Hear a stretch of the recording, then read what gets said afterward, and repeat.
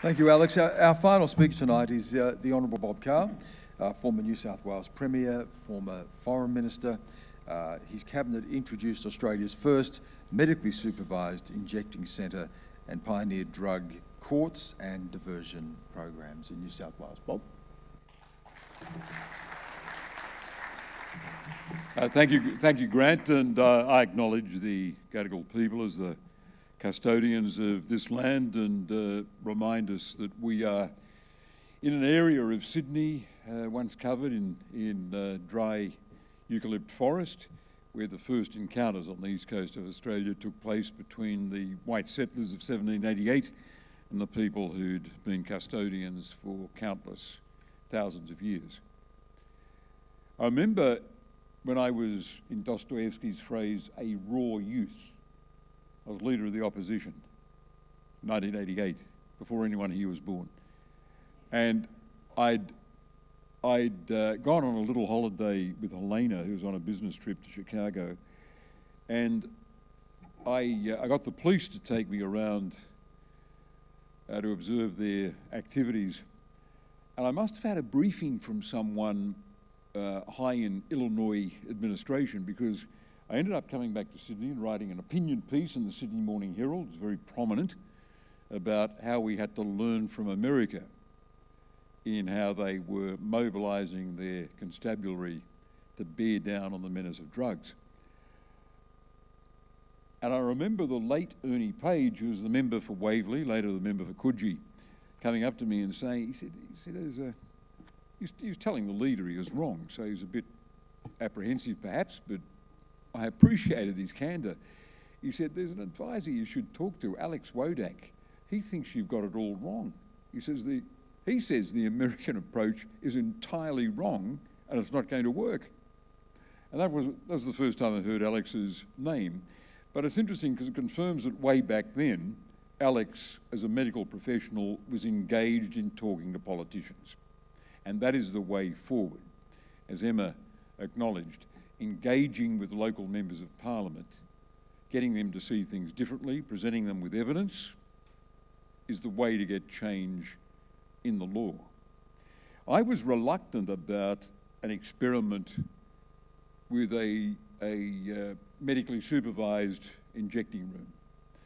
Uh, there's no, I, I, I did not go into that um, summit we organised on drugs in, in response to revelations in January 1999, the Sun Herald, with a what became a famous photo of a 16-year-old shooting up in a syringe-littered gutter.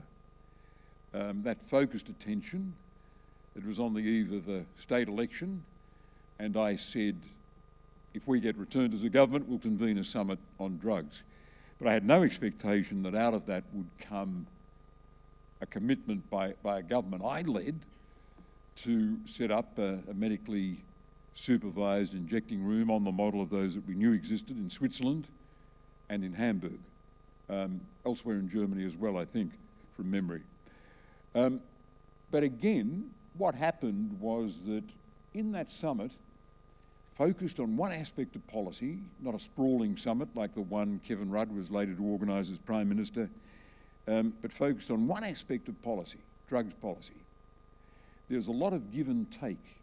The ministers in my government, Jeff Shaw, Paul Whelan, Attorney General and Police Minister, John Della Bosca, who I gave responsibility for this area of policy to, and, and Craig Knowles, Health Minister, really did engage, really did engage with everyone who had a view on this matter. And that engagement met, meant that one evening in the, in the ante room to the Legislative Council chamber up in Macquarie Street, um, Knowles and Della were there saying to me, um, we, we now see merit in the concept, concept of a medically supervised injecting room for heroin. And I was very reluctant. I felt, I felt queasy at the prospect. I had a visceral dislike of heroin. I had no notion that this was where I was going to be drawn. I, I, um, I wrote in my diary something about this because we ended up embracing it. I made some tweaks in the proposal. And um, I said in my diary, and I quote my diary, as Lincoln said, Abraham Lincoln that is, he didn't control events, events controlled him. Events drove me to announce yesterday that there would be a medically supervised injecting room at King's Cross, run by the Sisters of Charity in St Vincent's Hospital, an outcome I'd previously opposed. The drug summit made it impossible to resist. I sold it in the media, probably more convincingly because of my own reservations. Politics often presents a choice between the unpalatable and the disastrous. I said on ABC radio this morning, better to try to shift the self-injection off the streets. That was you know, the great advantage of keeping a diary is that I would have forgotten all of that. But this brings back to me the queasiness I felt at being dragged by events to do something I'd previously opposed because of a distaste uh, for heroin. My brother had died of a heroin overdose. I, um, I think there are some lessons out of this. I don't want to make too much of what we did. It's a, a pretty meagre landscape if we keep returning to this, 20 years old, as a working example of drug law reform in Australia. Um, but it did stand until Victoria opened one in North Richmond. It did stand for almost 20 years as the only example of, of something um, as, as challenging. But it was specific. It was a specific proposal, as Alex hinted in his excellent address a minute ago. Uh, we weren't proposing, and it's wrong to do this in politics, weren't proposing a wide, open-ended reform. Was, we closed in on a very specific, specific notion. That is, in one location in Sydney only, it's better to have people going into premises run by the state than shooting up in laneways and in car parks. And I found in this that sometimes your most powerful argument with the public is a tangential one. If, if forced by the media to justify what we were doing by, by commentators who weren't accepting the logic of harm minimisation, I resorted to this argument. Think of the paramedics. Should they be forced to go into a a car park or a laneway dark at night with the danger to them of needle prick injury, of infection.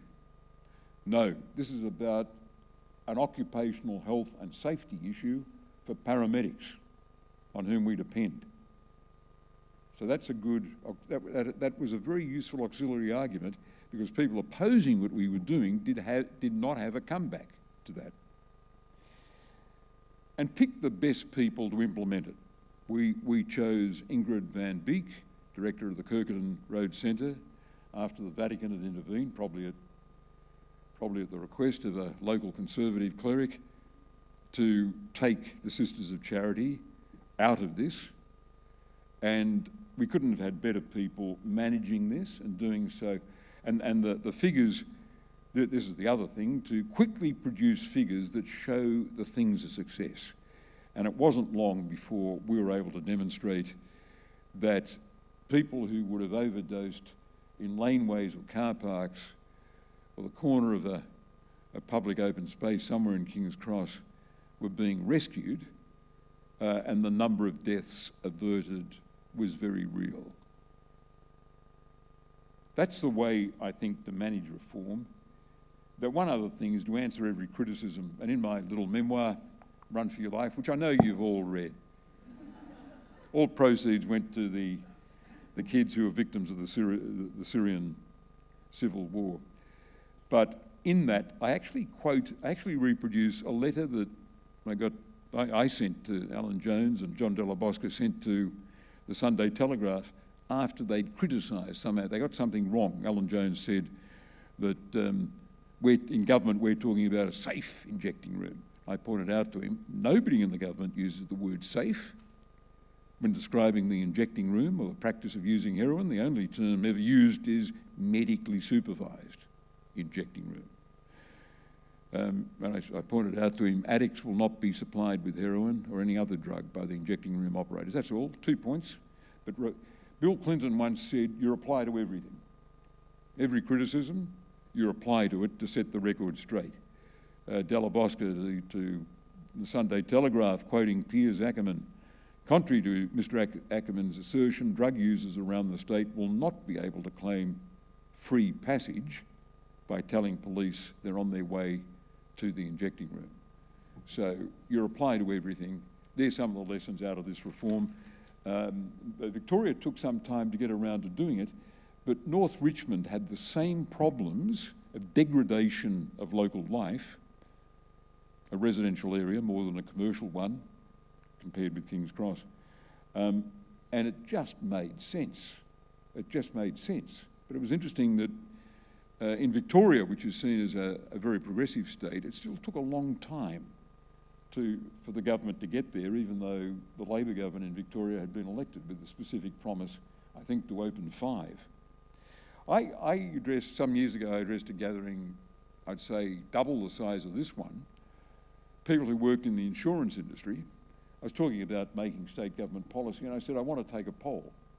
I outlined the, the argument about music festivals, music events, and the possibility that their youngsters going to such events might be able to, to get a drug, an illegal drug, tested on site. I said, Would you accept that, unsatisfactory as it is in many ways, as a lesser harm than your son or daughter running the risk of imbibing something that's impure and might kill them? I said, Think through the arguments. It is a big ask, but would you be prepared to go along with that?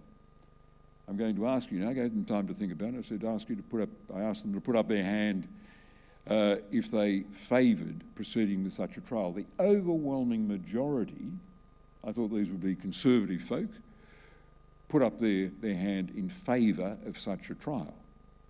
I guess they had sons and daughters, and they thought that was the lesser of two evils. Again, as I conceded in my diary, a lot of public policy is a choice between the unpalatable something that's distasteful and something that's disastrous. A young life lost because there wasn't a way of testing the illegal substance that she or he had picked up. So I think, given that experience and given the record in this state with the medically supervised in injecting room, I'd be encouraging um, the Premier to take up the implement implementations he's got. He, he, didn't have a summit, but he had a, an inquiry headed by a judicial figure, and the report has been out for 28 months. Um, there might have been some media attention, but I haven't noticed there's opposition mobilised and agitated about its harm minimisation suggestions. And as Alex says on the on the website for the Australian Drug Law, Law, Law Reform Association, one, treated the principles are can we treat it as a health and social problem, not as a law enforcement problem? First test. Second test is it feasible to reduce penalties for personal use? These are principles we've applied uh, with other drugs in New South Wales. And three, can we contemplate the removal of penalties down the track? So they're the principles to bring to this debate. I would, I don't think there's anything in the zeitgeist that should inhibit the Premier from taking the public into his confidence and saying, these are reforms, they've been recommended, it's in the spirit of harm minimisation. That, that, that thing introduced 20 years ago by the Carr government has worked, it saved lives. The principles are the same here. Now the challenge is a drug called ICE. If it doesn't work, we won't proceed with the experiment. We'll revisit the law. But take me into your confidence, and he could say, he could say, as I said in 1999, my instincts on this are, conservative. He's even more persuasive in saying that than I was, given his reputation. Um, but I've looked at the facts, listened to experts, a wide range of experts, and I think this is a route we can take. Just a final thought. Uh, and, it's important to proceed with drug law reform in bite-sized uh, chunks. We're not going to have uh, the overnight introduction of uh, the reforms that we've seen in Portugal.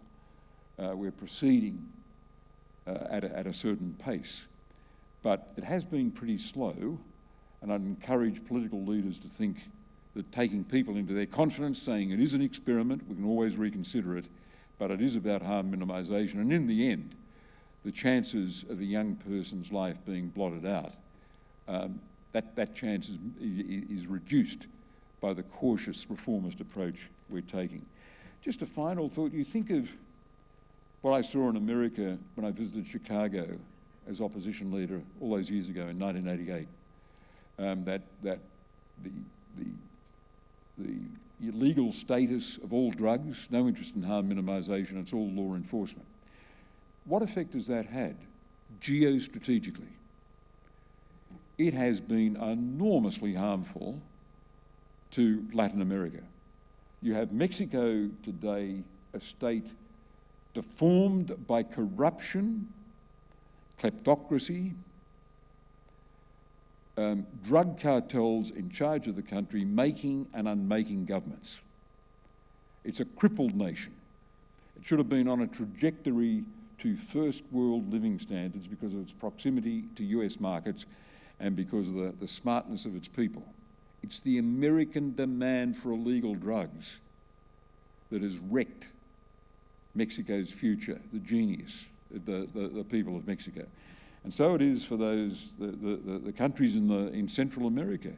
Um, I read a novel about set in Colombia, and it, it told the story of Americans going there as Peace Corps workers. Peace Corps workers delivering aid to the impoverished peasant population of this country, and then choosing, this is back in the 60s, choosing to introduce marijuana as a crop that could be exported to um, youthful buyers in the United States, enriching the peasantry of Colombia and meeting a demand that these Peace Corps workers thought is altogether innocent. If you think about it, our great ally America is the most disruptive force in the world. You've got that whole region, Central America, and, and that great Republic of Mexico, operating with the distortion, the corruption, the cartelization created by one thing American demand for illegal drugs and America's resistance up until now to any thought of European style drug law reform. Just a thought. Thank you. Drug Policy Australia is a fully tax deductible charity. If you'd like to help save our young people from the harms of prohibition, please visit the donation page on our website. Thank you.